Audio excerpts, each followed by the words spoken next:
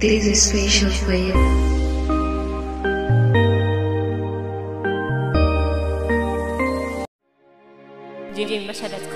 bwana, katika maisha siku zote tunaambiwa kwamba kuna vitu ambavyo ni vingi sana unaweza ukavifanya vikaweza kukufikisha sehemu fulani ambapo wewe ukaweza kufanikiwa, lakini pia usijione uko chini sana kutokana na mafanikio ulionayo ama kutokana na hali ulionayo, kwa sababu hata wale ambao wamefanikiwa sana wanawaza wanatamani sana kuwa na maisha kama ulionayo wewe. E bwana, emsikilize hii story kwa ufupi tu mwanzo mpaka mwisho, alafu tuendelee kuongea kuhusiana na maisha halisi ambayo tunaishi nayo, mtu wangu. One day, a rich dad took his son on a trip to a village. He wanted to show him how poor someone can be. They spent time on the farm of the poor family. On their return from the trip, the father asked his son, How was the trip? It was great, Dad. Did you see how poor people live? The father asked. Oh, yes, said the son. So tell me, what did you learn from the trip? asked the father. The son answered, We have one dog, they have four. We have pool, they have rivers. We have tube lights at night, they have stars. We buy foods, they grow theirs. We have walls to protect us, they have friends. We have television, they spend time with their family and relatives. The boy's father was speechless. Then his son added, Thanks, Dad, for showing me how poor we are. The moral of the story it is not about the money that makes us rich,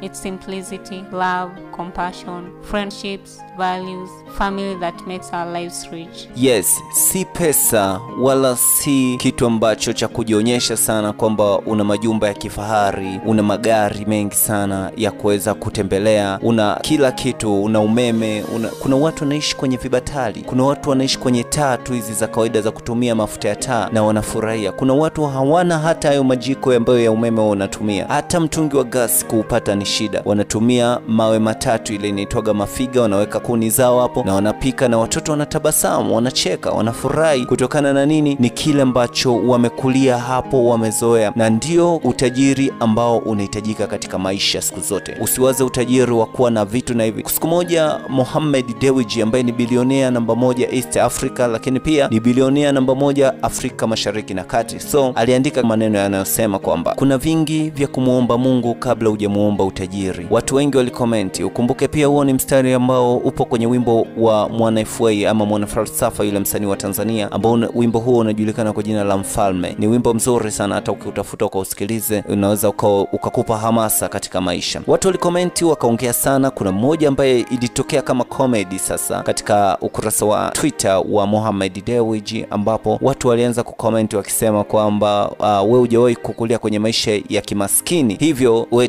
tulia. So atuache watu ambao tunaomba utajiri, tuendelee kuomba, kwa sababu kama angekuwa maskini basi angeomba utajiri, lakini kwa kuwa ni tajiri hawezi kuomba utajiri zaidi, kwa sababu anao na anazidi kuomba ongezewe zaidi. Lakini mi cha kukuambia ni kwamba ni kama kwenye hiyo story umesikia, labda kwa kukuelezea kwa haraka haraka ni kwamba uh, baba mmoja tajiri alimpeleka mwanaye huko vijijini kwenda kutembelea kama trip tu, wakaenjoy, lakini lengo lilikuwa ni kumfundisha, kumwonyesha jinsi gani watu wanavyoishi. Si kwamba utajiri tu ndo wa muhimu sana katika maisha, lakini alimpeleka kuweza kumwonyesha jinsi gani watu wanavyoishi huko, jinsi gani wanavyospend their time with their people, kitu ambacho baba yake alitaka kujua kwamba mwanaye atajisikiaje akipelekwa kwenye mashamba hayo. Hivyo basi mwanaye wakati wanarudi nyumbani, baba akamuuliza, je, umejisikiaje na trip? Akamuuliza maswali kama hayo hapo, lakini sehemu muhimu sana ni hapa ambapo alimuuliza kwamba umejifunza nini kutokana na trip. Mwanaye akamwambia kwamba ama akamjibu akamwambia, tuko na mbwa mmoja wao na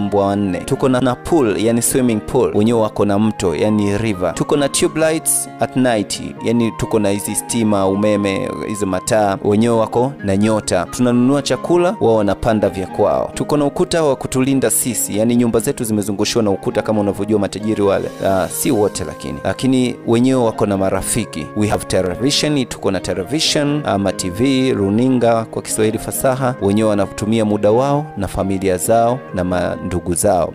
So baba wa mtoto akabaki hana maneno, hana cha kumjibu tena mwanaye. Utamjibu nini hapo? Then mwanaye akamwambia, nakushukuru baba kwa kunionyesha jinsi gani tulivyo maskini. Of course Mo alichokiandika katika ukurasa wake wa Twitter akimaanisha kwamba si kwamba yeye ni maskini, hapana. Alionyesha kwamba anatamani na yeye kuwa tajiri, kwa sababu utajiri wa kuwa na marafiki, utajiri wa kuwa na watu, utajiri wa kuwa na vitu ambavyo ni vya kwako, achana na hivi vya kununua artificial artificial, sijui unanunua kambwa kamoja. Unajua matajiri ni tofauti na sisi, marafiki zao ni watu wawili, watu mtu mmoja, lakini wanaamua kuishi hivyo na wanaona labda sisi hatuko vizuri, ma, maisha yetu si mazuri, lakini sisi tunakuwa ni matajiri kuliko wao, kwa sababu hata wale kwenda kuzikwa kule unakuta wanazikwa na watu wengi, lakini kiukweli watu maskini huku. Tunazikwa na watu wachache, lakini tunazikwa na wale watu ambao ni wana moyo, wana uchungu kwa kupoteza rafiki yao wa ukweli katika maisha yao. Kuna watu anaenda kumzika mtu akisema kwamba ah, huyo ni tajiri amekufa, so anakuwa tu ni mfano, unasikia kama fulani ana mapesa na amekufa, sembuse mimi. Kwa sometimes we have to take our time, we have to spend our time with our people, with our friends, with our families, we have to spend our time to share our ideas with our relatives, ili tuende maisha, tuone maisha ni mazuri. Kwa hiyo kuna matajiri unaona anapoandika kitu